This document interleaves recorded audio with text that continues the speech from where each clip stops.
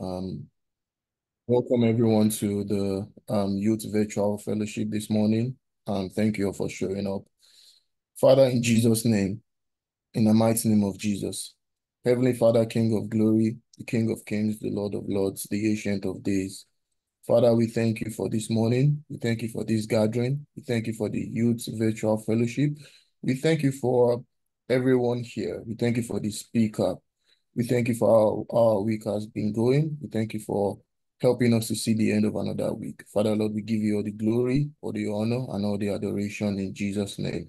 Amen. Father, Lord, as we commence on the Youth Virtual Fellowship this morning, um, titled um, Immigration for Academics, Father, Lord, we pray that it will be useful for everyone in Jesus' name. Amen. And pray that the speaker that will be leading us this morning, you bring up fresh enlightenment, fresh ointment to guide us and lead us in the right direction for our purpose in Jesus' name.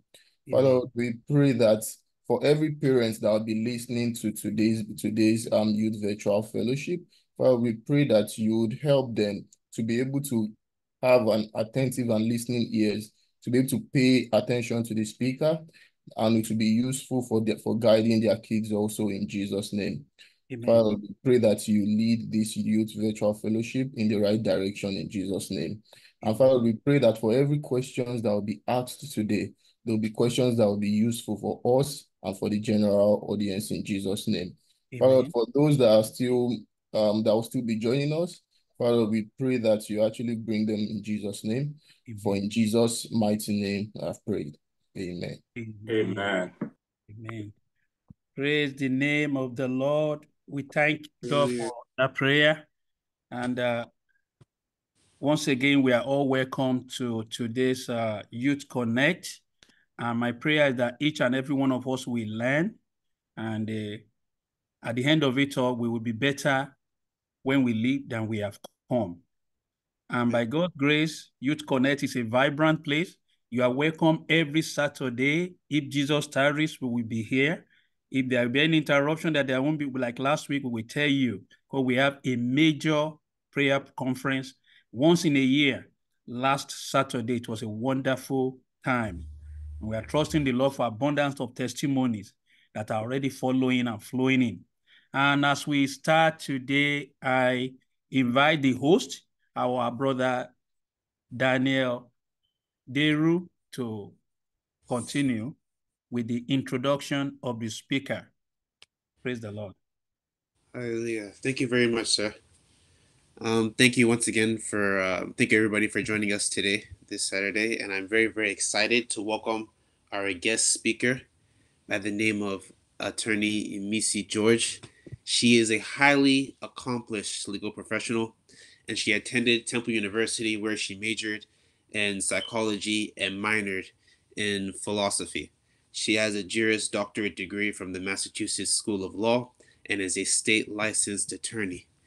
She is a certified regulatory compliance manager, a certified immigration system auditor, a project manager, and a certified anti money laundering specialist. As of now, she is currently employed with a global financial institution where she works as a compliance transaction manager. She is also the, um, the founder of the George Immigration Law Firm, where she brings more than 10 years of experience in all forms of law to each case, and she has a strong track record in obtaining favorable results in swift resolutions. As she serves both businesses and individuals, Attorney George is, de- is as dedicated to client service as she is to legal excellence. She's active in numerous legal associations, where she also volunteers her time to a range of community organizations. Attorney George has a wide breadth of experience in assisting employers with sponsoring their employees to permanent residence and temporary work visas, such as the H 1B, the L 1, the TN, O, P, and E visas, which she will get into in the presentation. Her experience covers immigrants' visa petitions filed under extraordinary ability, outstanding researcher, multinational manager, and executive visas, as well as national interest waiver categories, and assisting clients file labor certification, that's PERM applications under the EB2 and EB3 categories and family based applications, including the VAWA. It is my privilege, and I'm very excited to introduce to everybody Attorney Emisi George. Hello, everyone. Thanks for having me. Oh, that was a long introduction, but thank you. Um, today, I'm going to be talking about one of the pathways to um, permanent residency, which is, um, let me sh share my, oh, I'm trying to share my screen. So I sent a request. Ẹ káàárọ̀, ẹ bá ń sọ fọ́ọ̀rẹ́ mi kó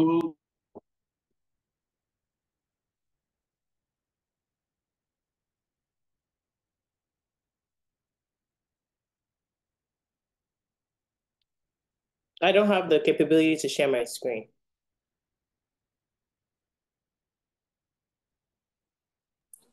Pastor, let's please uh, enable her to share the screen.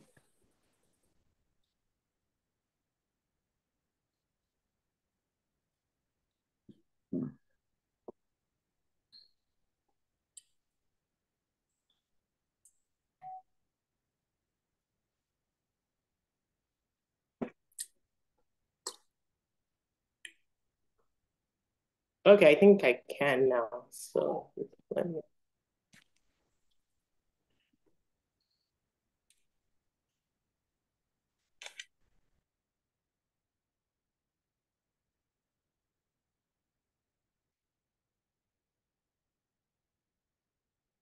It's, it's on. You should be able to share now. Yeah, it's my my Zoom is asking for permit. I guess I didn't put the permission.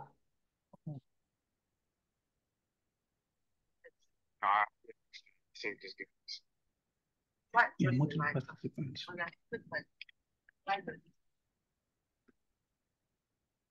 One participant can share. No, it's not multiple. It's what we allow. Can you see my screen? Yes. Yes, we can see it. Okay. Um, do you guys see a PowerPoint?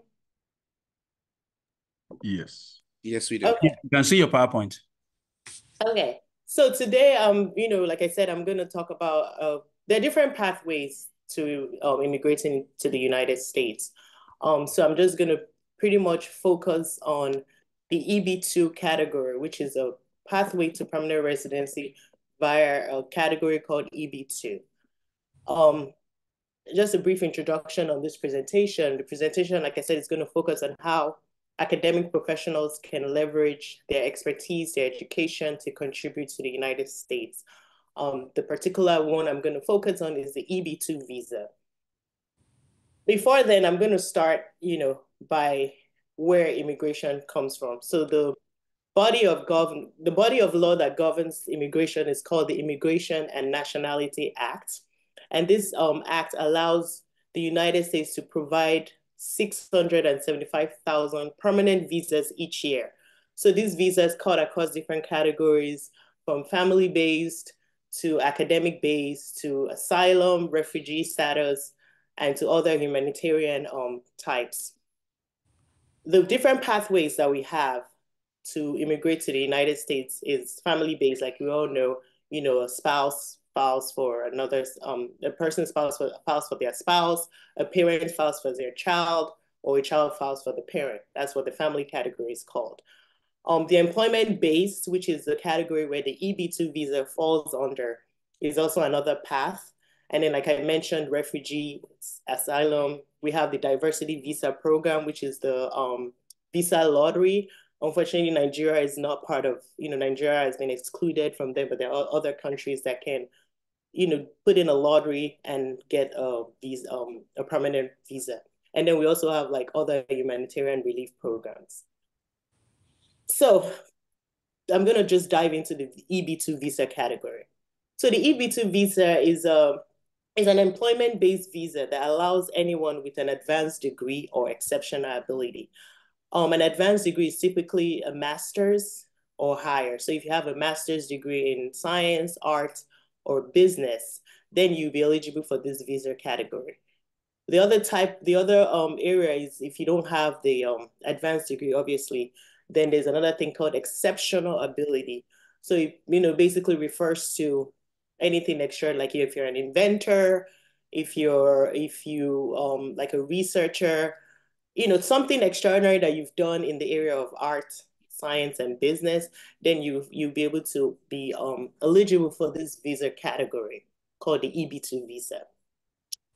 So the EB2 visa, so basically any employment-based visa, you need an employer to sponsor you. But this EB2 category allows you to file what is called a national interest waiver. This allows you to bypass an employer filing for you. So like under the employment base, we have the H-1B visa, we have the EB2 visa and other categories. The H-1B visa, uh, you have to have an you have to have a job and that job files for you. But this EB2 allows you to self-petition yourself. So it's the because of that category, the there's something that it put it under a national interest waiver. So that allows you to waive an employer sponsoring you. So you basically sponsor yourself. And by that, you you know you you filed the labor certification yourself and prove that your work benefits the United States national interest.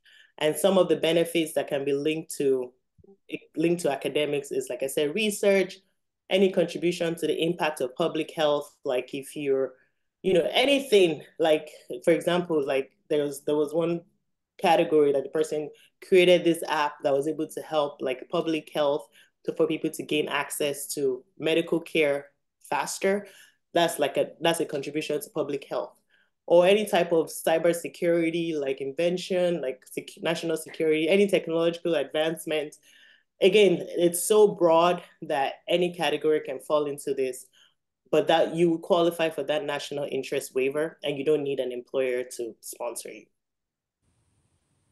Um, you know, part of the eligibility that I, like I explained before is an advanced degree. So if you have a master's degree, you're a professor, you're a PhD student, or a PhD graduate, you're a medical doctor in like overseas, you're again any advanced degree you want to think of in art, science, business, and um, uh, science is also divided into tech. So if you have any master's degree in tech, then you would qualify for this EB2 category. And then, like I said, if you don't have that educational um, educational requirement, then if you have an exceptional contribution like publications, um, there's you know, there's some people that don't have a master's degree, but they have publications, they've done research, they have awards like for government award, like government recognition, society recognition. Again, anything that demonstrates how your academic work or your experience or your research skills can benefit the United States, then you qualify under the EB2 NIW um, category. So there are different ways how your academics can strengthen your EB2 petition. Like I said, publications, patents, citations. If you have any peer review research, then that would qualify. And also there's something that is, um, and I think my formatting is off for some reason. But um, if you have like strong letters of recommendation from recognized experts.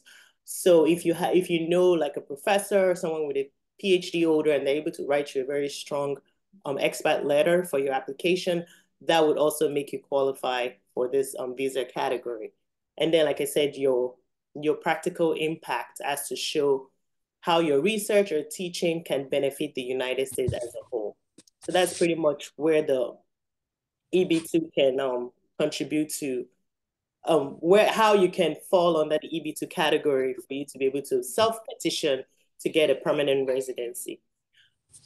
So the, the application process for the EB2 is basically to file the, sorry, can I just pause for a second?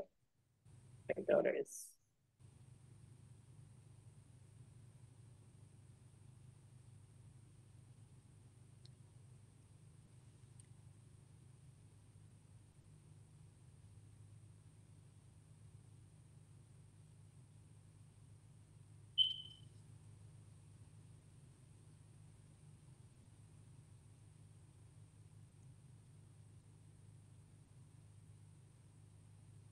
I'm so sorry for that interruption. My my daughter came out. I apologize for that. So the um, application process for academics is basically number one is to file the I-140 petition, which is the form for the um um the self petition. There are different categories that can file for this. So if you file, if you look at this form, you see other types of visas that can file, but this is the um, USCIS form that you fill out to file. And then obviously you have to prove that you have an advanced degree or the exceptional ability, like I said, and then demonstrate how your work benefits the national interest. It's again, this type of category is very unique because, like I said, all the employment-based visas require a job offer.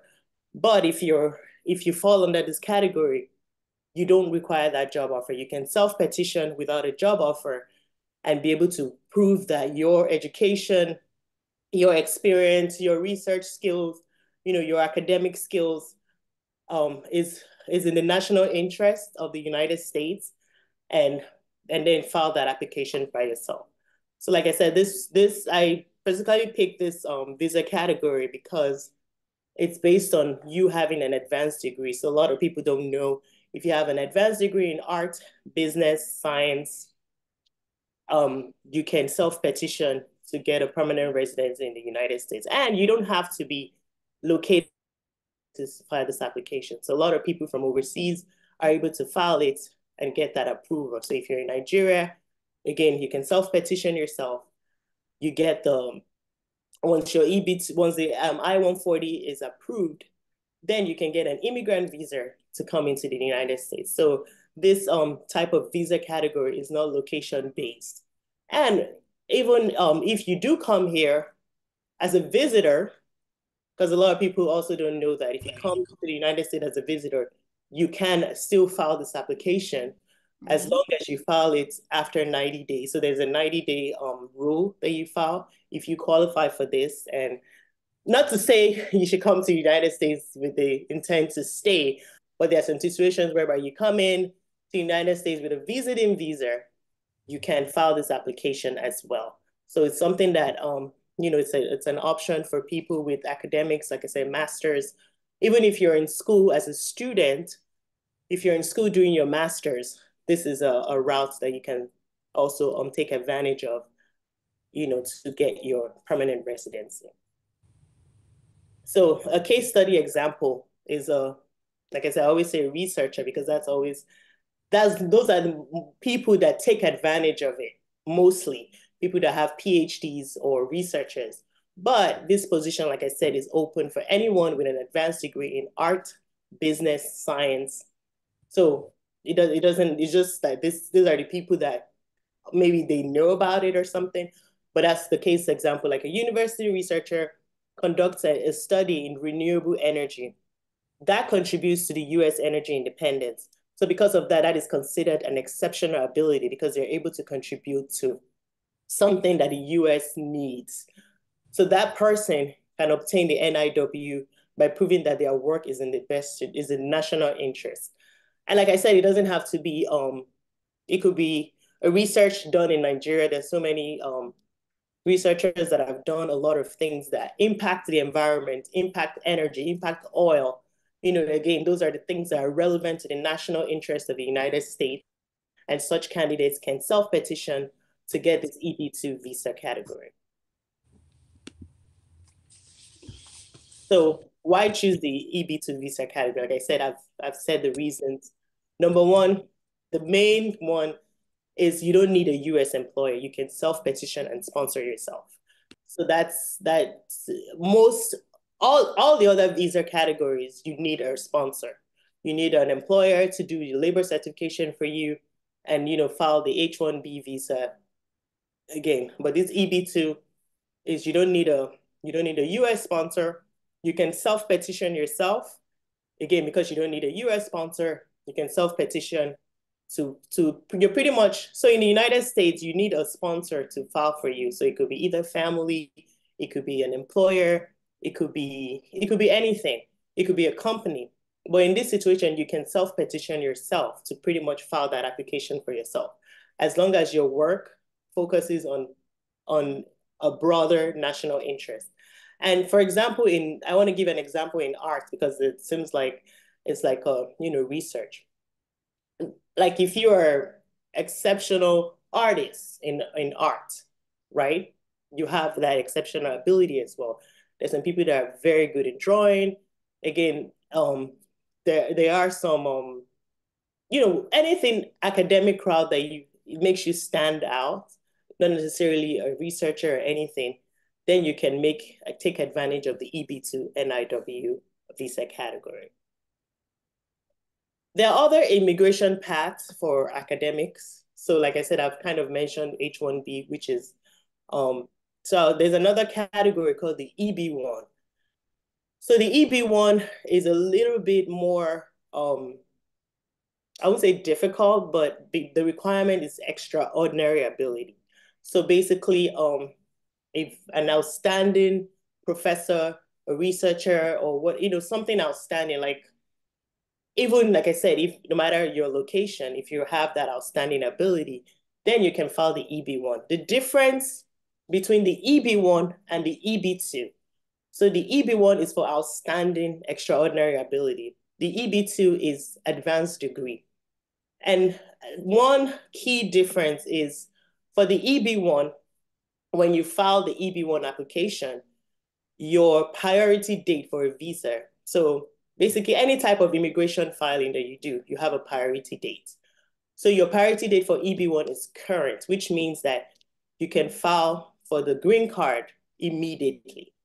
For the EB2, you have to wait for your priority date because that's a second category. It's a second preference. So you so when you file your EB2, you still have to wait for your priority date to be current, then you can file the green card application. So that's just the difference between EB1 and EB2. But the category, the um, requirements kind of overlap.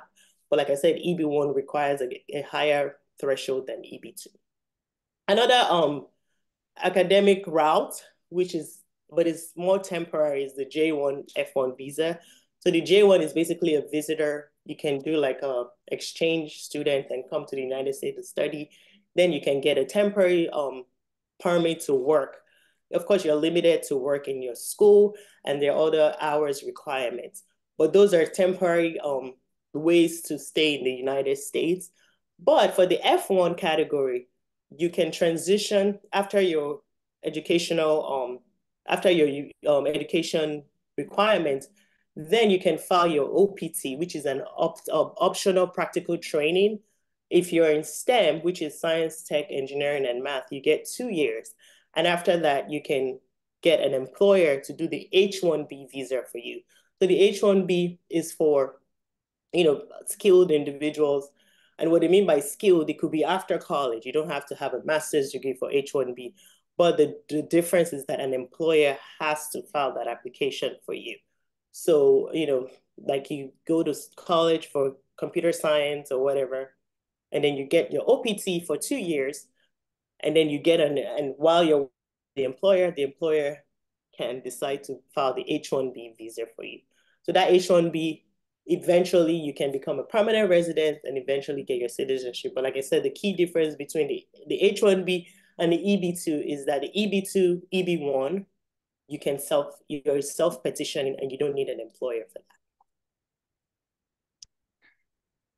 And so just my conclusion, because this is just a, I just kind of focused on a particular visa category, even though there are a lot of visa categories, but I wanted to make room for because a lot of people don't know about this visa category type. So like I said, um, the NIW is a very viable path for academics seeking permanent residency. You don't need you don't need an employer to file for you. Can self-petition yourself and um, you know, get that um, permanent residency route, which will give you your citizenship. So, you know, uh, research how your academic achievements align with the EB2 requirements, and you look at your options. Again, there's so many options to immigrate to the United States. Not just the typical way that people do, and I don't, I don't want to say that, but we all know typical route that people think is the only option I've met so many people that are highly educated in Nigeria and come here and don't know about this option. So this is a very viable option. Self-petition yourself to get your permanent residency and your United States citizenship. So that concludes, uh, I just wanted to have time for questions, but I wanted to bring this um, visa category that a lot of people are not aware of and just share with you guys. So if you have any questions, the floor is open. I'm happy to answer questions. Um, I do encourage the questions not to be, you know, personal immigration questions because like this is a public forum and I don't think you want that, you know, I don't know. So any questions, I can take questions now. Thank you. Thank you so much for that wonderful presentation, Matt. So we got a few questions in the chat. The first one is, what are some of the circumstances that would void or nullify a visa application? I'm sorry, I didn't, the, the line was breaking up. All right, so the question was, what are some of the circumstances that would void or nullify a visa application? So that's a general question. So I don't know if the person want to specify because it depends on the visa category. So did you come, are you talking about visiting or, you know, what, what is the visa category? And, but if it's a general question, for example, I mentioned that if you're a visitor and you come into the United States, if you file your EB2 before 90 days, that would void that because you can't do that. You cannot come once you come in to the United States and you file another application within 90 days, it shows that you had the intent to come in to the United States to immigrate. And that will be considered a lie because you did your application to come in as a visitor. So that's an example that can void your visa application for EB2. So again, I don't know the specific visa type, but there's so many things that can void your application. You know, um, inconsistent inconsistency in your application. Maybe your initial visiting application, you put you were married, now you're putting single.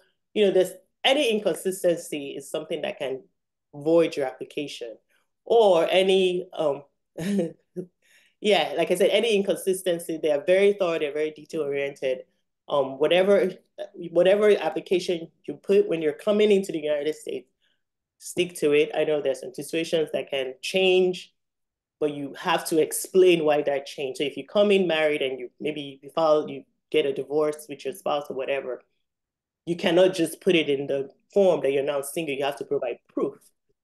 Now I'm single, you have to provide your divorce certificate and all that. So those are things that can void your application, inconsistencies um, if you file before that 90 days um, deadline. I don't know if that answered the question, but it depends on the visa category and, and, and I'm not really sure um, but that's just an example of how we can avoid it.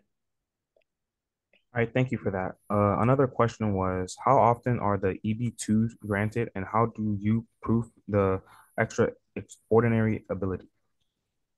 The EB2s are uh, they're granted quite often if you're able to prove your application. Like I said, um, if you don't, so I'm assuming the person asking does not have the advanced degree. Is that what it is to prove the extraordinary ability? So if you don't have an advanced degree, then you have to think of how you stand. Like I said, awards. Did you have you gotten any awards, any recognition by you know your certifications? If you have like, let's say you're you have a um an undergrad science, but you've done a lot of applications like CSA, CISM, you have all these applications that can help your your exceptional ability as well, because those certifications are not easy to come by.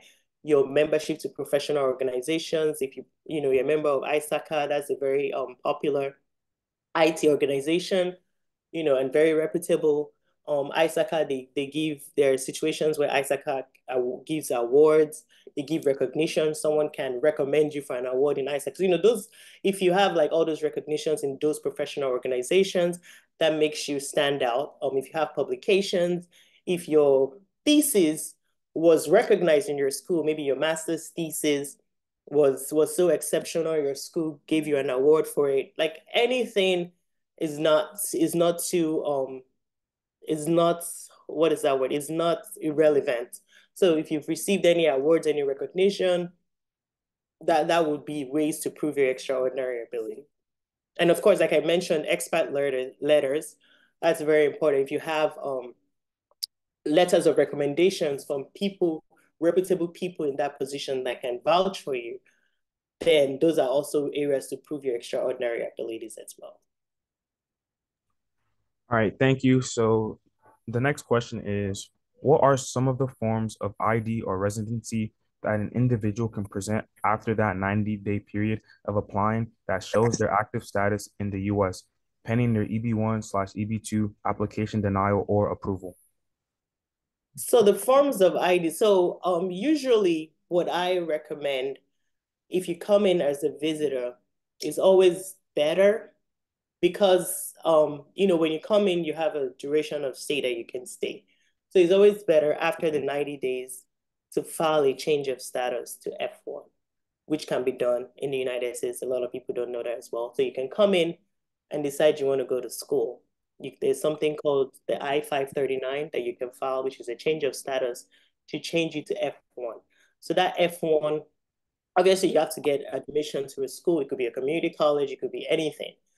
When you change your status to F1, that gives you a longer stay as opposed to uh, uh, being a B2 visa, um, B2 applicant that I don't, you know, usually they give you a time that you can stay in the United States. So if the 90 days is up, if the 90 days is almost up and your um your stay is like coming to an end, obviously you're gonna be out of status. It's very important for EB2, you have to file while in status. As a visitor, or F1, you cannot overstay and file EB2. If you overstay, that's another way that your your visa application can be voided. So back to that first question, if you overstay, so overstaying is you stay in the United States without changing your status to something else, either by extending your B2 status, which is a visiting status, or changing to F1 status, then that visa application will be voided.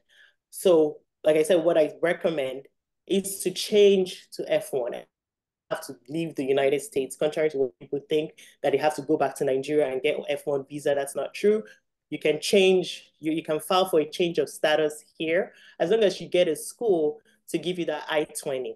The I-20 is the um the um the visa that the school gives you for you to attend school. But you have to officially change your status from a B2, which is the visiting, to that F1. So there are a lot of schools do that. All you just need to do is file the I-539 form, which is a change of status, or the extension of status, which is extending your visa, your visiting visa, so that your application is not voided. And once you do that, that's the type, you know, what, like once you change from B1 to F1, then the form of ID is your, you know, your student ID. You can still use your Nigerian, your Nigerian passport will still be valid, but at least you have a more um, a longer stay in the United States. I don't know if that answers the question. All right, thank you for that wonderful explanation. Uh, uh, the next question is, can you please elaborate more on these two prongs of the exceptional ability criteria, membership in a professional association, and other comparable evidence? Are these where the recommendation letters peer reviews come in? Yes, so like I said, the the exceptional ability criteria is very subjective. It's very broad. They're different things. Um, the example that I gave is uh. I'm sorry.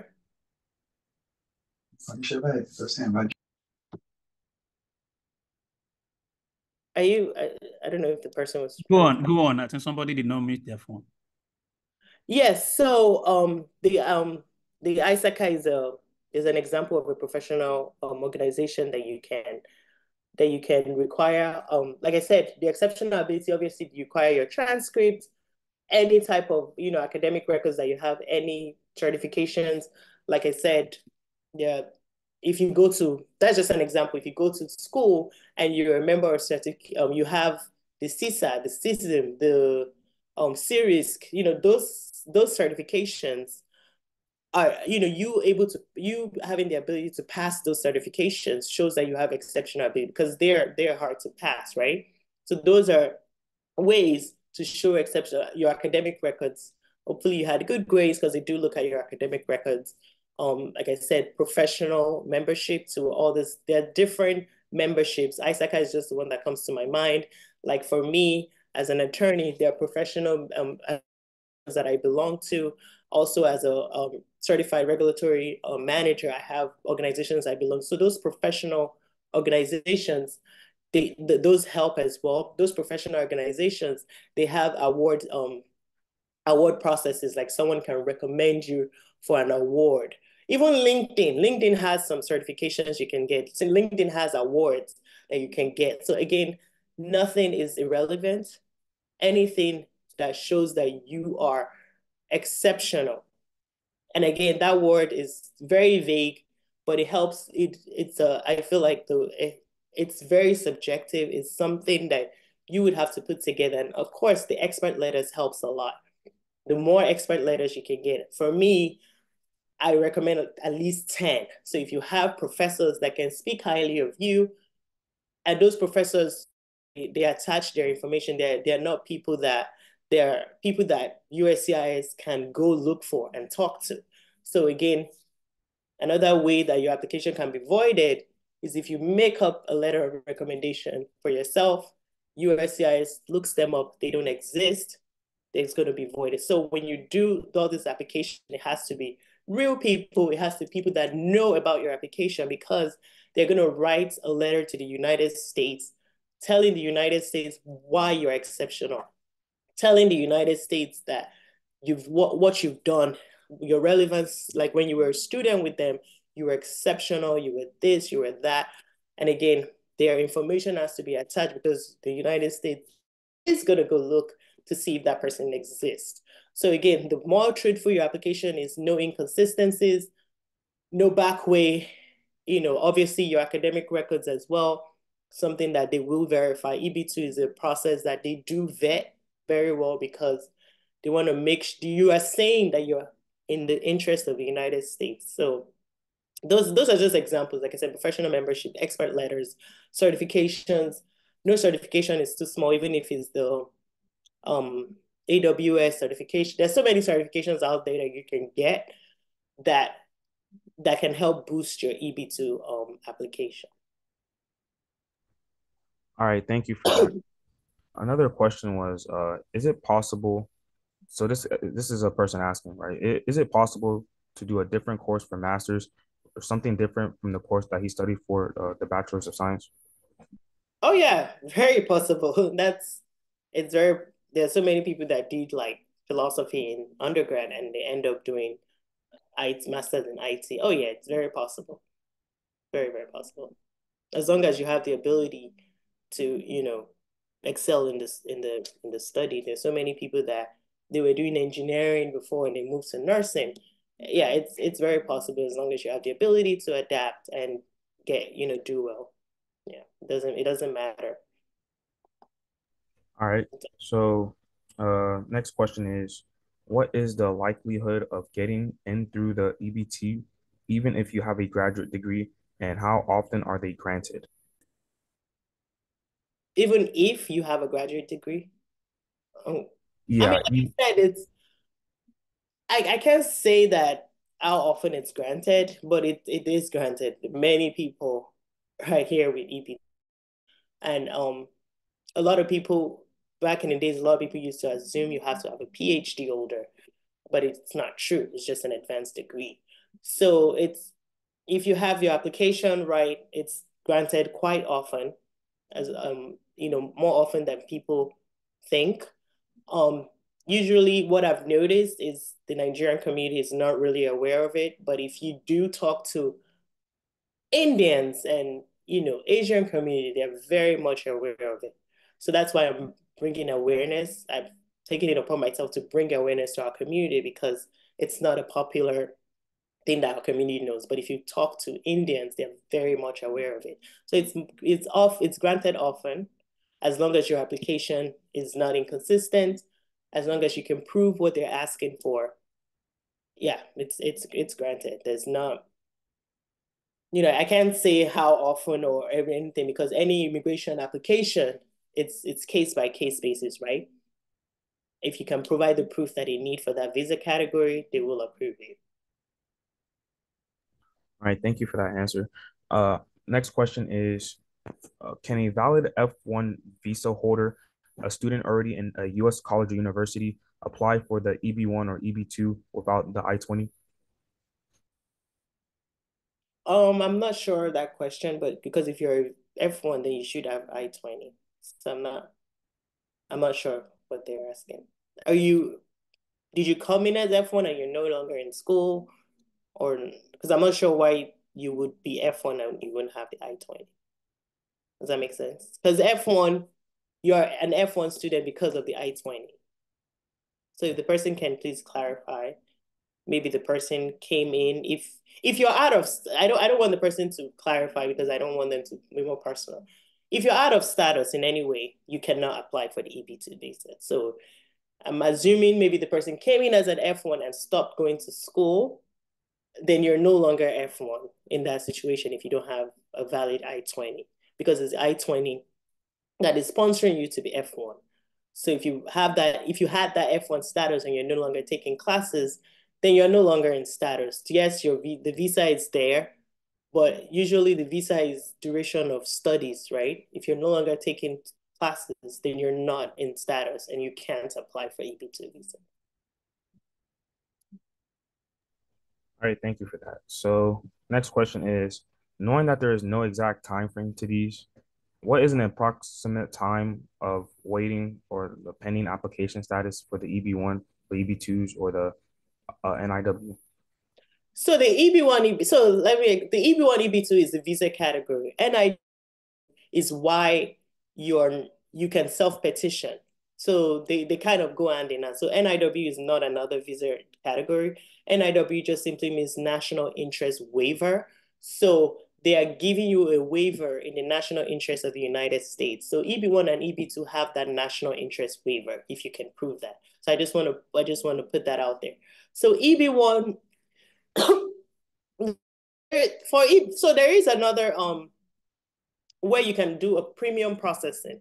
So USCIS actually gives you the opportunity to do premium processing so that you can get a you can get a decision within 60 days. Obviously, it costs about $2,835. So if you're looking for a quick approval, that is an option to do premium processing. So like I said, the EB1, your priority date is current. So I do recommend that premium processing for EB1 so that you can get your approval and file the I-485, which is the permanent residency, right? Because any, any visa application, you have to first of all file something to change your status. For marriage, it's the, the form is I-130. For EB1, EB2 is I-140. So when you file that application and you do premium, you get your result in 60 days, right? And then you can file for the permanent residency. The permanent resident, you can file for the permanent immediately. The permanent residency, again, depends on your state. So it everything depends on where you live because they're, they're, it depends on all the applications coming in your state. So that duration is not something I can say because I don't know where you live. I do know in Texas, it's a long wait, right? But remember, you will get your, you have your, you're not out of status because your application is approved. And when you file the 485, you can file a work permit, which is the I-765. So that work permit will be given to you while you're pending your um, permanent residency to be granted. So you can work um, the permit, the work permit now, the, the duration they're giving is two to five years. Some people get two years, some people get five years. So the wait for your green card to be approved, it could be anything from six months to three years. But you're in status because you have a work permit. So that's for EB1, if you do the premium route.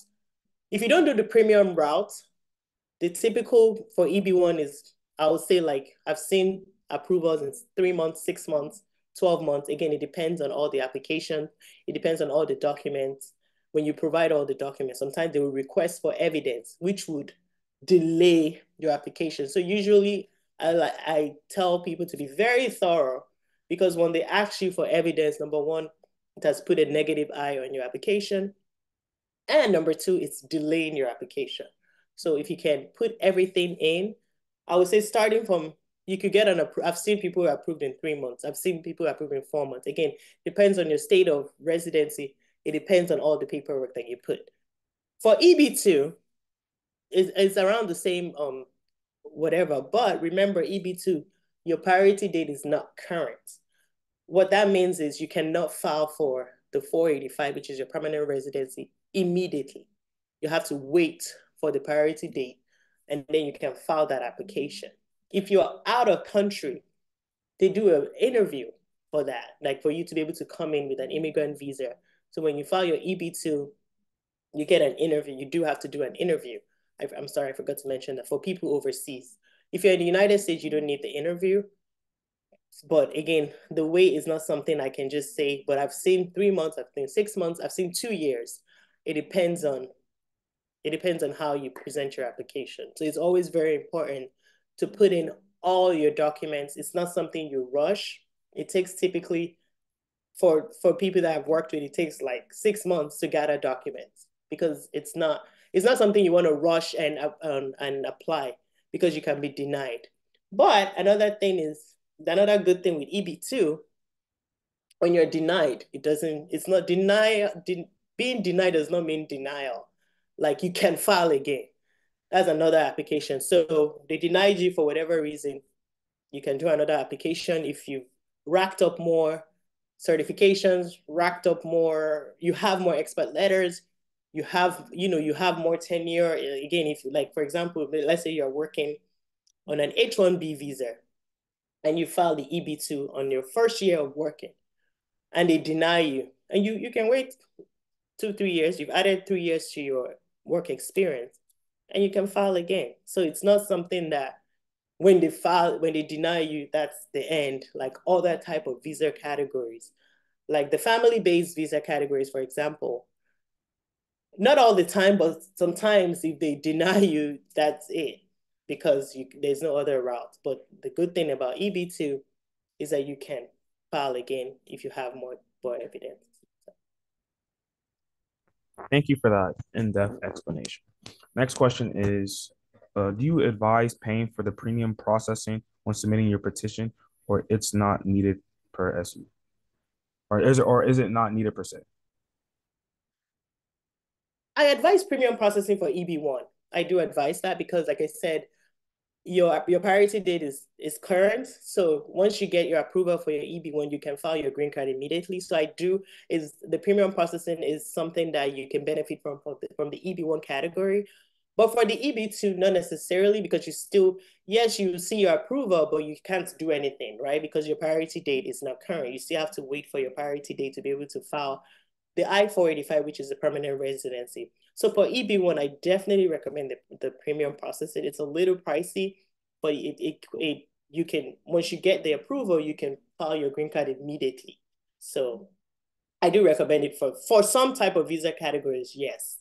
Family-based um, visa categories, like for a spouse, because your visa is also um, current, definitely recommend um, premium as well. You get your approval in 60 days and you can file, you, you can all the other processes you can do, you know, you can do it immediately. So family based, I definitely recommend it for like a spouse. I do recommend it, yes. So it depends on visa visa category. All right, thank you. Uh, next question is, what are some of the inconsistencies in these applications? It's kind of broad question, but that's pretty much what it is. Yeah, I mean, I've mentioned some inconsistencies. Inconsistencies is like, you know, I wouldn't call it maybe lying, but like oversight, for lack of a better word. Like I said, you come in as married, and then your your new application, you're single with no divorce records, with no explanation. That would be an inconsistency. Um, another inconsistency that I'm trying to think of is expert letters. You make up an expert letter. Again, USCIS looks at USCIS they actually ask for their LinkedIn pages or their CVs. So that's how serious it is. So if you, you know, want to be fast, do your expert letter, compose a CV, USCIS is going to look for that person. The person doesn't exist, or the person did not know that you filed an application, and the person is like, I don't know. That's an inconsistency. USCIS is going to see that this person, it could be someone you know, and I understand, you know, a lot of people don't like to share their immigration, you know, with people, but for unfortunately for this type of visa category, any expert letter you provide, they need to know about it because they will, they may be called upon, and it will be very, very, um, it will be, it was a very bad look for USCIS to call your reference and your reference does not know about it. That's that's an inconsistency. So, you know, there are different inconsistencies. Um, uh, for I'm trying to think, even for example, especially for people that come in as um, a visitor and then change to F1, that can be an inconsistency if there's no explanation for that. Why did you, in your visa application, you said you were coming to visit? So again, those are so when you're filing your change of status, you need to put a valid reason why you now want to be a student and why you did not say that to the consulate in Nigeria or any country you're coming from and you came in as a visitor. That's another inconsistency. But a lot of inconsistencies are usually cleared up through affidavits or you know explanations or providing documentation, but never just file. If you know you've changed something then you need to provide an explanation for it. So those are examples of inconsistencies that that can make um your visa be denied. There are some, you know, inconsistencies. For example, the, going back to the old marriage thing, some people provide divorces that were not done in court. They do verify those documents, and those are inconsistencies. So a lot of, you know, a lot of times, yes, you may be divorced in customary court or divorced in your family, you know, some people maybe they they did a court wedding, they did traditional, they dissolved it by returning bride price or whatever, but there's no court record. That's an inconsistency because USCIS is going to go back to review the legal documents in Nigeria. Believe it or not, I know we think Nigeria does not have information, but USCIS does correspond with Nigeria to check documents, especially divorce records. These are a big issue for a lot of people because if USCIS cannot find your divorce record and you provided a notarized divorce record or whatever, that's an inconsistency and your application can be denied. And if it's denied with prejudice, then you cannot even file again. So because once they see um, fraud or an appearance of fraud, that is a reason to deny you with prejudice. And when they do that, then you don't even have any other option even even believe it or not, even if you file another route, you know, for example, you file EB2, it was denied because of fraud, and then you marry, a genuinely marry a US citizen, you have a family with a US citizen, and then you file for that US citizen. USCIS can go back to that application and say, you committed fraud when you filed your EB2. So you have to be careful. Any documents that you provide to USCIS are very, very they're, you know, it's not like before. They do a lot of vetting now. They do FaceTime calls now. They do visits. So, you know, those are inconsistencies that can affect your application. Or you say you live somewhere and you don't. They can come in, maybe you're living, you you know, you're living somewhere else, but your address or USI is another person's address. They can visit you. And if you're not there, that's an inconsistency that can affect your application. All right, that was the last question. If anybody else have any more questions, you can always leave it in the chat box, or you can unmute your mic to ask the question yourselves. But that's all the questions there are so far. Thank you, man, for your explanations. Thank you. Thank you so much. We really, really, really appreciate uh, your participation today. You really brought in our knowledge about this. Uh, especially this uh, an area, like you said, that we have not really tapped in our community, which could be of help, tremendous help for a lot, a lot of our relatives and our brethren too, our friends. Uh, we just pray that the Lord we continue to bless you for really giving us so much insight into this. Uh, we thank the Lord for you. We just hope that uh, you will still be available any other time when we want to have you here again. Because I know yeah, a lot of people come back on to talk about you know other visa categories.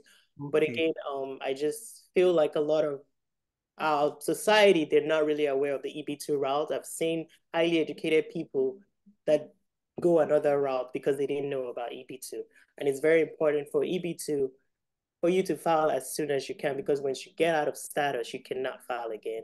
You have to meant you have to go back to status before you can file EB2. So that's why I'm bringing that on.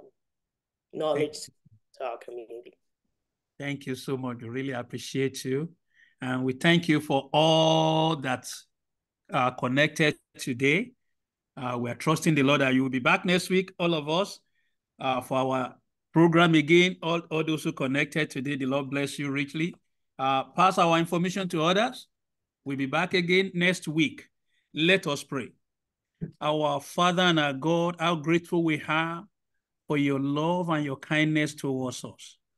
Thank you for our presenter of today. Thank you for your for the grace that you've invested in her. This is something that people will have to pay a lot of money consultancy fee to get. And she has willingly come on to really help us with this, to broaden our knowledge, especially this is an area that is, uh, I cannot say obscure, but it's an unexploited area for many of us, for people that we, that are some of our relatives. I pray, that, Lord, that you continue to bless her. You continue to uphold her and her household. And that in her career, you continue to enlarge her. You continue to make way for her. Thank you for all those who have learned from this. We pray that, Lord, we all make use of it to be able to help people who are close to us. Thank you, Lord, for this forum. And thank you for all the participants. As we depart today, we are not departing from your presence.